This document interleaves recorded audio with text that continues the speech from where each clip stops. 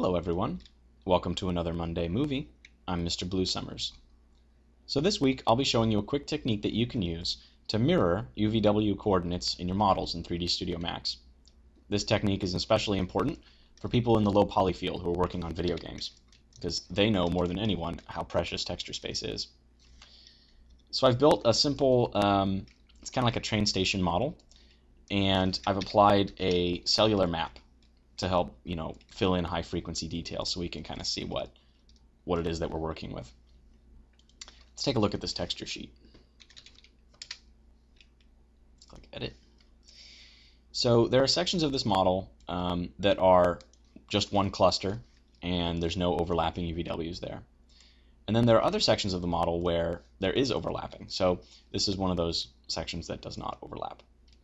And then these windows, for example, do overlap. You'll notice that when I select, you know, pieces of it in the edit UVWs window, I'm actually getting several separate polygons, several separate clusters. So what if you need to take a section of the model and convert it from, you know, one a one shot, one uh, one cluster into several clusters that overlap perfectly? Let me show you how. So I'm going to delete my UVW. There we go. You select the polygons that you want to mirror. Say I want to get these four. And you detach those polygons. So click detach, click OK. Just select that new object and apply a symmetry modifier to it.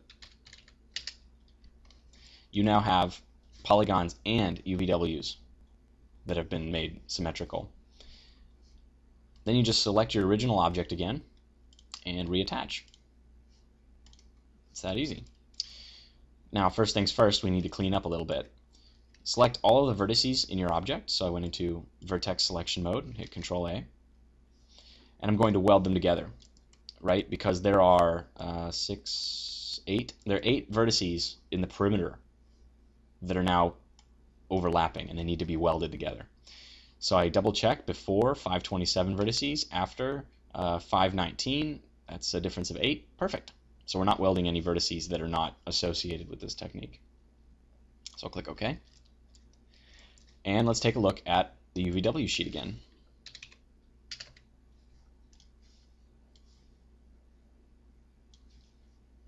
Perfect. So now you can tell that where there used to be these four polygons all in one place, now I've got two polygons, and when I select them, I get both sides. Now I've got all this texture space again and I can do anything with this block.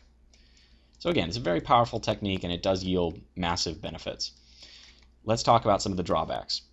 Number one, the most obvious is that um, you can't use texture baking when you use this technique. 3D Studio Max will not let you bake overlapping polygons onto the texture map. Even if they're the same, even if it's identical, it, it'll just throw an error, so you can't do that. The next problem is um, if you have, say, two sides of a building, like this one here, so this is one side, this is a corresponding face on the other side. If I put text on this side and it looks properly like Coca-Cola, on the other side it'll read backwards, Coca-Cola, because these two are, are overlapping UVWs. So you can't use things that are like text. You can't use textures that won't look properly, that won't appear properly if they've been flipped. One last thing that you can actually fix a little bit is this symmetry modifier leaves some artifacts, right? It's, it's pretty clear that this has been mirrored. What you can do, and this is a little bit of a cheap trick, you can select two of the polygons, and this only works for for polygons that are perfectly square, right? You, you can't have any weird shapes. And you just flip it.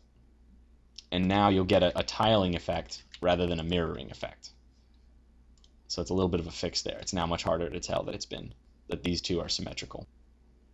So there you have it.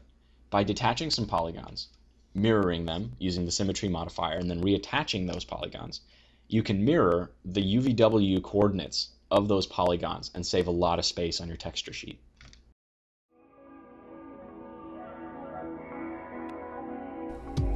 Thanks for tuning in to another Monday movie.